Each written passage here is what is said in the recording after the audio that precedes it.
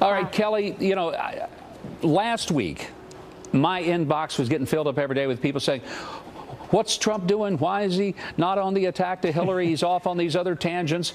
And tonight, after that speech, as people were watching, those same people were blowing up my inbox saying, That's right. This is the Donald Trump we want to see. And they're all happy. So, was this a turning point for the Trump campaign moving forward?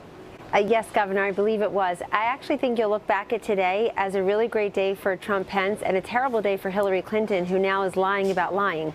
Uh, she still can't get the story right. And I think when you look at go beyond the endorsements tonight and you listen to what both Mr. Trump and Governor Pence had to say on the stump, they're taking the case right to Hillary, if not Obama's eight years in office. Donald Trump's out there tonight questioning her temperament, her fitness for office, her qualifications. Last I checked, integrity is a qualification for President of the United States.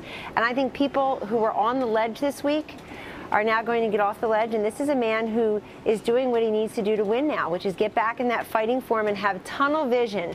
There's a boogie woman out there. It's very clear who to attack every single day.